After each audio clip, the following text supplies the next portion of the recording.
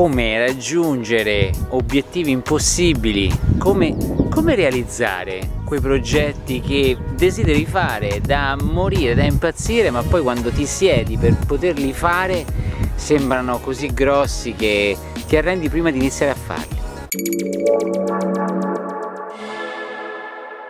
Se tu prendi un ciocco da 4 kg di legna, un pezzo unico, lo metti nel camino, vai prendi, accendi un fiammifero e ce lo metti vicino, si accende quel ciocco?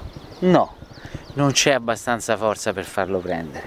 Bisogna prendere un po' di legnettini, magari anche un po' di carta, qualcosa per creare un piccolo fuochetto, metterci sopra qualche pezzetto di legno un po' più grande e ancora un po' più grosso, poi legnetti medi, legni ancora più grossetti e quando cominciano ad andare belli, che fanno un bel fuoco caldo, vivace, allora tu ci sbatti sopra il ciocco da 4 kg e quello parte come una Jaguar, tranquillo. Quindi se io voglio fare un progetto che è equivalente a un ciocco di legna da 4 kg, cosa posso fare?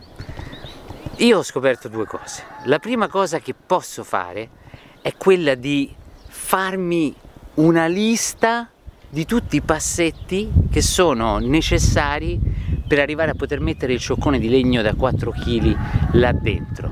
Cioè mi elenco tutti i passetti necessari per arrivare allo step poi finale, perché lo step finale è il risultato di aver fatto tutti quegli altri. Quindi li vado a individuare e mi spezzo l'idea che prima era far bruciare il ciocco di legno da 4 kg in 10 mini step intermedi per arrivarci. Due, affronto il percorso prendendo ognuno di questi steppini alla volta. Perché se mi dici andare a prendere adesso i legnetti e metterli nel camino non è un problema.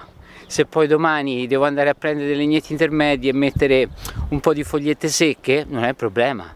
Se poi il giorno dopo devo accendere questa robetta, soffiarci un po' sopra e vedere che prenda bene fuoco, non è problema ma se mi dici di nuovo ehi prendimi quel ciocco di legno da 4 kg buttalo dentro e accendilo con un fiammifero io non ci riesco, mi arrendo, non funziona proprio fisicamente quindi allo stesso modo se voglio realizzare un progetto le cose che ho scoperto sono di spezzarlo in tanti piccoli passi e poi di fare ogni piccolo passetto alla volta Thank you.